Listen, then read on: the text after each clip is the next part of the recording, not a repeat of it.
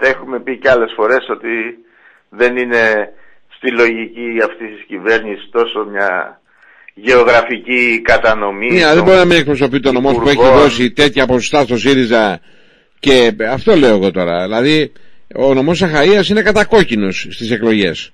Τα ποσοστά θα τα ξαναδώσει. Δεν έχει σημασία ποιοι θα είναι υπουργοί και από ποιους νομούς. Αυτό να είστε σίγουρος ότι θα το παλέψουμε όλοι μαζί και θα καταφέρουμε το καλύτερο δυνατό αποτέλεσμα.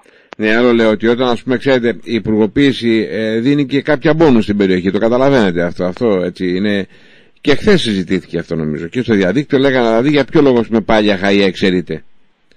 Ε, εντάξει, είναι μια προσέγγιση που παραδοσιακά υπήρχε, νομίζω ότι δεν είναι θέμα να κολλάμε σε τέτοιες ε, οι προσπάθειες που γίνονται και από την κυβέρνηση αλλά και από τους βουλευτές κάθε νομού είναι ανεξάρτητες από το αν υπάρχει υπουργός από το νομό αυτό ή δεν υπάρχει. Αν μας δώσετε ένα λεπτό από το χρόνο σας θα σας δώσουμε τρία χρόνια από το δικό μας. Γιατί στο Δούβρι δεν αγοράζεις, επενδύεις.